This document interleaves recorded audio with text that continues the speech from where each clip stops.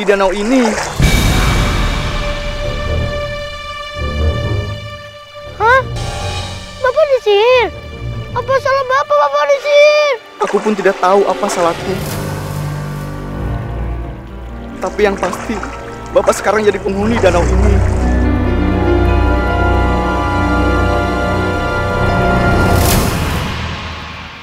Bapak, aku mau ikut sama Bapak. Jangan anakku, Aku nggak apa-apa jadi ikan. Eh, anakku, Bapak. menjadi manusia itu makhluk Tuhan yang sangat sempurna. Jangan meminta yang lain. Mau ikut Bapak. Aku mau Bapak.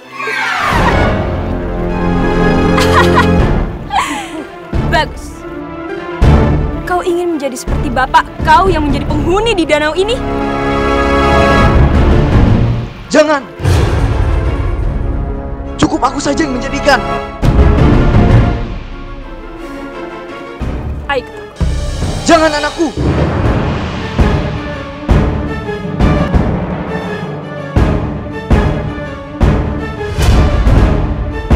Jangan.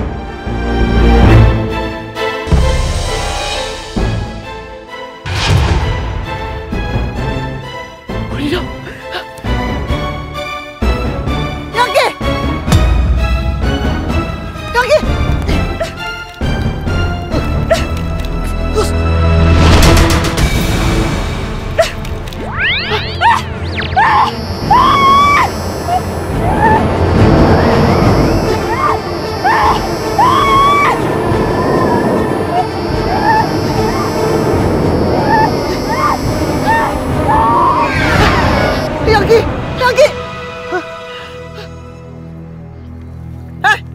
itu tadi terhipnotis oleh siluman buaya putih? Yaudah, sekarang ayo kita pulang. Yaudah, ayo, ayo. Ah, syukurlah anakku selamat. nenek buaya putih. Iya, Bu. Nenek itu yang mengambil Bapak dan mengubah Bapak jadi ikan, Bu. Berubah jadi ikan. Iya, Bu. Tadi Ambo berbicara dengan ikan jelmaan Bapak. Tidak mungkin. Kau tuh terlalu banyak membaca buku dongeng. Jadi halusinasi kau tuh ke mana-mana. Ibu nggak percaya karena Ibu nggak lihat sendiri sih. Sekarang kau pulang ke rumah nenek kau ya. Tinggallah di sana.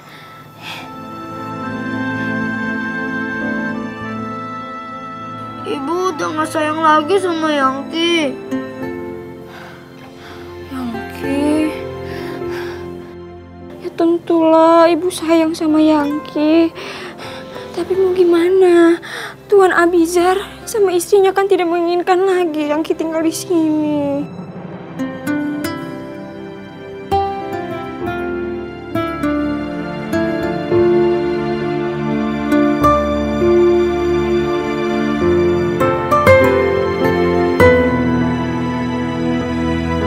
Eh, enak aja kau.